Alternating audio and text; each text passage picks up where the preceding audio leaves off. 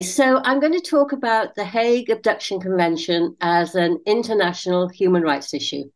And I'm going to start with some of the messages, emails, and stories that we receive every single day from mothers who are caught up in this human rights abuse. I've had to change names, partly because mothers will face further abuse from their partners if they go public, but also because in many cases the courts themselves silence mothers in this regard. And there is a warning a lot of this content is quite distressing. So, Vicky. Vicky wrote to us last year She'd fled Ireland and was back home in the US. She sent us screenshots of page after page of violent threats and vicious abuse from her ex husband. She said, I suffered over 10 years of narcissistic abuse from him. My children's entire life up to the moment we left was filled with toxicity and abuse from their father. Now my ex has filed a Hague Convention against us. It's very frightening the thought of my children being shipped back to a country where we have nothing. We have no family, no support. I just know they're going to send my kids back, and I'll have to follow. I'm absolutely terrified. What if he kills us? Sarah was returned to Australia from New Zealand after her abusive ex partner won his Hague case against her. New Zealand citizens are not able to claim benefits in Australia, as you probably know, and they're not eligible for support. So Sarah's ability to look after her daughter was severely compromised, a fact that jeopardized the custody battle that followed. She told us her story. The legislation, she said, forced me and my two year old daughter into homelessness. This law doesn't care about justice. It stripped us of our basic right to have a roof over our heads, favouring the rights of the father, no matter what the consequences for us. Dee was the first Hague mother I ever met. Her story and her endless courage continue to inspire and move me. She wrote, My first escape was when my first baby was born. She was just out of the hospital, having been beaten out of me by her own father, and was premature and tiny. He lost his temper because she cried. He lost his temper because I tried to push him off me when he raped me just after having a traumatic birth. I held her in my arms by those damned windows, and he punched me while I held this tiny, precious baby, sending the two of us flying over backwards towards the glass and onto my back. She, thankfully, was okay. Not that he cared. I was not. I waited until he went out to work. I packed a backpack with diapers and wipes and other maternal detritus. I put the baby into a sling across my chest, and I took myself out of the country with her.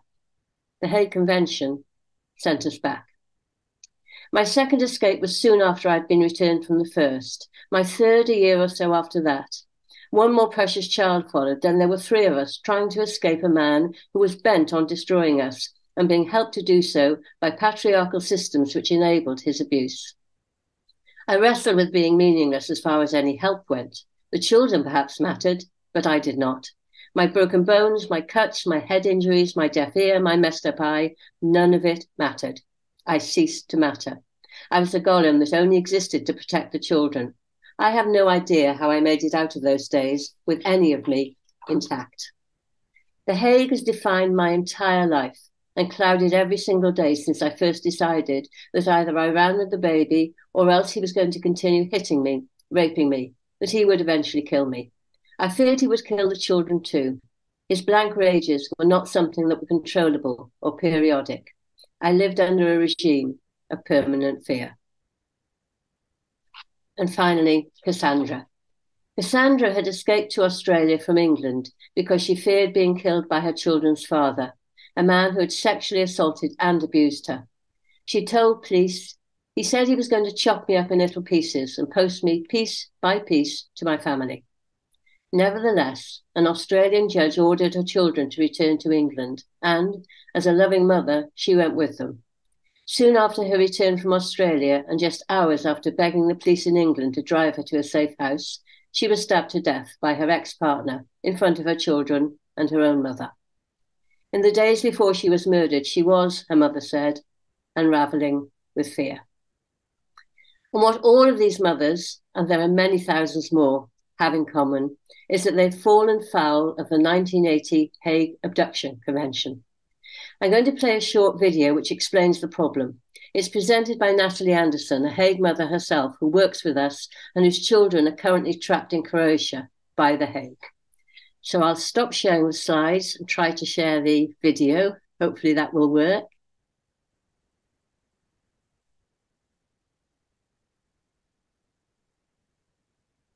The 1980 Hague Convention on International Parental Child Abduction was designed to ensure the swift and safe return of children who are taken across international borders by one parent without the other parent's permission. It's usually very effective, but there's a problem. The convention was originally designed to deal with fathers who abduct children and to protect mothers and children, but that's changed now, in over 75% of cases, the abducting parent is the mother. Many of them are fleeing domestic abuse. There's nothing that actually protects a fleeing mother and child. No local justice, no international justice, nothing. The convention forces children, and therefore mothers, to return to the country they have fled. Leaving an abuser is terrifying. Fleeing across borders, doubly so. Mothers are leaving their homes, their jobs, their friends. They're traumatized and often in fear of their lives. They try to flee to safety, and then the Hague Convention hits. Being in court was so terrifying, so stressful that it has left me traumatized. And then they sent my sons back to the man who was beating me raping me. Hague mothers are rarely entitled to legal aid. There are not many specialist lawyers available, and they only have a few weeks and sometimes only a few days to prepare their case. The only defence available to them is Article 13b of the Convention. The court does not have to order the return of a child if the mother can prove that there is a grave risk that returning them would expose them to physical or psychological harm or place them in an intolerable situation. But grave risk is interpreted very narrowly. Domestic abuse against the mother is rarely seen as a grave risk or intolerable situation for the child, in spite of extensive evidence to the contrary. Children are almost always returned to the country and often into the care of the abusive parent. My ex has filed a Hague convention case against us after we fled Ireland last year. I just know they're going to send my kids back and then I'll have to follow. But what happens to us when we get there? What if he kills us? Mothers must choose whether to return with their children or send them back alone. Those who do return face post separation abuse, destitution, homelessness, isolation, and sometimes even criminal proceedings. They often have no family and no support networks, a mm-hmm. textbook context for continued abuse. It is not in any child's best interest to grow up with a mother who is isolated or unemployed and depressed, trapped in a foreign country by an abusive ex partner. There has never been a single day when I have felt safe or felt that my children were safe here. We, Hague mothers aim to end this injustice with the help of international support from lawyers, domestic violence professionals, academics, women's groups, human rights activists, child psychologists, the Hague mothers themselves, and the general public. We call on the Hague Secretariat to recognise the grave risk and intolerable situation caused by exposure to domestic abuse where domestic abuse is alleged, we ask for the following amendment to the Convention. Legal aid for mothers, a rebuttable presumption of no return, welfare hearings held in a safe location, the views and wishes of the child to be fully considered, and a restriction on the use of protective measures to defeat Article 13b.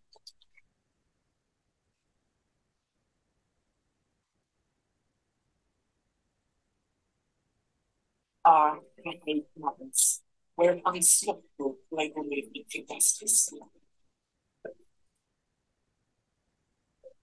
Okay, so as Natalie explained, Hague Mothers was set up to end these injustices. And the injustices I've told you about, the stories I've told you about, are quite dramatic ones. But also, it can happen that a mother is given permission, for example, to go back to her own country to look after elderly parents. And then suddenly she's hit with a Hague Convention petition and finds herself considered an abductor, and the father takes custody of the children. So it can be dramatic or it can be everyday. But basically, any mother who is living in a country which is not her home country and who has a child, whether she's married, whether she's separated, whether she's divorced, whether she's ever been uh, married to that father, whether the father's abusive or not, can, can become a victim of the Hague Convention. So the question is, how will we do it? Because it's a pretty impossible task, and we intend to do it. We intend to end the injustices through the International Sisterhood. And Janet and Anna are part of that, and thank them very much for being part of that. So we're working uh, in coordination, co producing this project with approximately 90 women uh, from across the world. Hague mothers, lawyers, domestic violence professionals, academics, journalists, psychiatrists, counselors, feminists, activists, children's rights advocates, and many more. And we're supported, as I mentioned earlier, by the FiLiA charity, which is a feminist charity based in the UK, but it has a global reach. And here are some of the things we're doing. We decided to focus initially on the UK, the US and Canada, and Australia and New Zealand, partly because of the language issue, but partly because those countries have the, the majority of Hague cases, both between them, themselves and in general. But as we were set up, we set up about 18 months ago, and so the rest of the world has started to join us. So we now have uh, people working with us from Brazil, from Mexico, from Japan, from Hawaii, from Europe, etc. It's growing and growing because it's a worldwide problem. Here are some of the things we're trying to do. So we're trying to build an evidence base. At the moment, Hague courts don't collect evidence of what happens during or after the court hearing. So anything we tell them, they just say it's anecdotal. So it's really important we start to build that base. So we're going to collect mother stories, and Janice is part of that enterprise. Uh, we're doing case law analysis, and that's happening in the UK at the moment and will happen further afield, we hope, in the future. And we're collecting statistical evidence so that we can present that evidence in every possible regard, both qualitative and quantitative. We're raising awareness. This is absolutely critical. And later on, I'm going to ask you to help me with that once people know, particularly once women know about the Hague Convention, they tend to get involved or they tend to be, tend to be concerned, obviously, because it's such an extraordinary human rights abuse. But we need to let them know. At the moment, it's one of the world's best kept secrets. So we created that video that you've already seen. We're also active on social media. We attend conferences and webinars like this. We write articles. We put pieces in the media. Anything we can do to raise awareness globally of this problem. We're starting to create resources for mothers themselves, for lawyers, and for domestic violence professionals. The Hague Convention is an international treaty, but it's slightly different in its um, application in different countries. So we have to tailor those resources for each country. And most importantly, we're lobbying and advocating for change. So we're lobbying governments, we're lobbying the Hague Commission itself, and we're working with the UN. In particular, we're working with the fabulous UN Special Rapporteur on Violence Against Women and Girls, Reem Alsalem. I don't know if you've come across her, but she is absolutely superb and courageous in her advocacy for women and girls. She recently produced um, a report called Custody Violence Against Women and Violence Against Children, and it focused particularly on family courts, but it also, for the first time, mentioned The Hague. She said in her recommendations the Hague Convention on the Civil Aspects of Child Abduction needs to be revised to better protect abused women and their children by allowing a stronger defence against return if there is family and domestic violence. And it needs to incorporate an understanding that a child's return may compel an abuse survivor to return to violence and harm. Now, for us, that's self evident, but to have somebody of her stature saying that publicly in a public report is really significant. And we're hoping to use that as leverage for further change. And we're working closely with her on that. We're also, since this is an Australian webinar, I want to tell you about some of the things that are happening in Australia because you are leading the field internationally in these changes. Uh, we inherited an incredibly fertile context in Australia with many thanks to Hague mothers, lawyers, and activists who've been lobbying the government and raising awareness way before this campaign ever got going. In particular, her Hague story. Anna was involved as well, and Gina Masterton has been doing sterling work in this regard. So it was a really fertile context. And when we arrived on the scene, uh, you already had a new Australian Attorney General who had committed to safeguarding and supporting mothers in these circumstances. And he started to make steps to do that. So he's um, it's produced new le- regulations uh, which will allow domestic violence to be taken into account, even if it's only alleged rather than proven. He's also set up a legal aid option, so that's now available to taking parents, which it wasn't in the past, as well as to the parents who are petitioning for return. And there's been a committee, which many of you will know about, looking into the status of objections by children and children by children, both in family courts and in Hague courts. So we're pushing for more. Instead of domestic violence being allowed to be considered if it's alleged, we want courts to have to consider it. We want it to be a must, not a may. And if domestic violence is proven, then we want everything off the table. There should not be the possibility of bringing a Hague Convention petition if domestic violence is evidenced. Also, the legal aid provision is fantastic, but if the lawyer doesn't understand about, for example, coercive control or the impact of domestic abuse on the child, even if the child is not a witness to it, but uh, just hears about it, then that lawyer is worse than useless. So we're really going to push over the next year or so to make that legal aid provision domestic violence and trauma informed.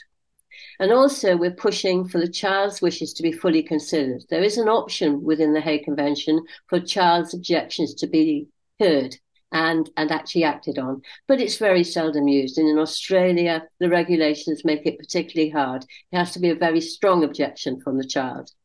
Uh, we put in petitions we put in submissions to the uh, just family law amendment bill committee who were looking at it. And we weren't the only ones to put in submissions in this regard. And they appear to have borne fruit. I heard the day before yesterday that we are able to anticipate that the existing regu- regulations will be repealed and the children's voice will be given a much more, will be brought to centre stage, which would be fantastic. We're also co producing resources for mothers. Uh, it's taking us a bit of time because this entire project is voluntary and there is no uh, funding source, no direct funding source. So it takes time to do things. But once we do them, they're really done well because we have so much expertise at our command. Our huge priority at the moment is to influence the outcome of the eighth special session of the Hague Conference, which meets in October. They only meet once every six years, so this is a really key moment for us, and all our energies are focused on that.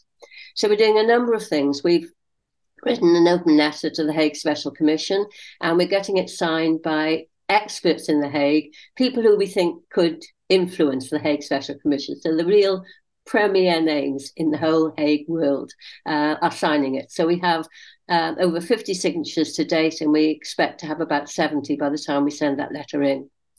We're also producing on the other end of the scale, we're producing a booklet of mothers' voices with some of the stories, like the stories you just heard this morning, and voices of other mothers across the world.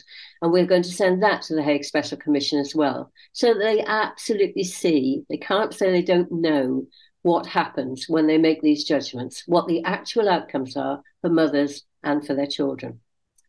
And there's a lot more we're doing, and that's where I really need your help. I'll put some links in chat at the end of this, and I'd really, really appreciate it if every one of you could help us to make these things happen. So, first of all, uh, there's a petition called Protect Hague Victims, an international petition which will be sent to the Hague Commissioners so far, it's had about 34,000 signatures uh, globally, and it would be great if we got that to 40,000 or even 50,000 before it's sent in October to the commissioners. There's a link there. I'll also put it up in chat afterwards, as I say. The petition was started by an organization called Global Arc, who work with mothers, um, and it's supported by a number of other survivor organizations and by ourselves right across the world. So please at the end of this, if you could check the link, if you copy the link, if you could sign the petition for us, but then even more important, if one person signs it, that's great. If you can then send it to, say, 10 family, friends, professionals, colleagues, anybody you know who think might care about this appalling human rights injustice, if you could each get 10 people to sign it and ask them to pass it on, that would make a real difference. And what else would we like you to do? Please share the Time for Change video. That's our key way of getting the information out about the Hague Convention and about our campaign to change it. So share it with anybody you know. Share it with mothers in particular, and certainly mothers who are in abusive relationships or mothers who might need to flee across international borders, with lawyers, with DV professionals, with family, with friends. The more people who know about it, the more our voices will become strong. And in particular, please lobby your MPs to push for change. Every country who signed up to the Hague Convention, there are about 102 countries worldwide, sends two representatives to that Hague Commission meeting in October. If we can get if we can petition our MPs to put pressure on those representatives, who are generally civil servants, so that everybody going to The Hague is at least aware that there are serious and significant human rights problems here, then that will be a, a big difference for us. Normally, the Hague Commission meets and is very um, unwilling to consider the real problems that are happening with The Hague. We need to change that. Please follow us on Twitter. Uh, we're almost at 700 followers. If you all sign up, we'll be at a great deal more. And rather than just following us, if you could retweet, if you could send us information that you thought would be useful for us to retweet, that would be great. Anything to get the word out there. And if you'd like to know more about the project itself, you can sign up for our um, monthly newsletter, and there's the link there. Again, I'll put it in chat. And finally, some of you uh, may have um, expertise or experience that you think could help us. Um, if you do, and if you have some time to spare, and I know, I know absolutely that women who come to these sorts of things are activists and are always very busy. But if you have any time to spare that you think could help us, please email me and join us. And that's it. Thank you very much for listening, and thank you, Janet and Anne and Bronwyn, for inviting me.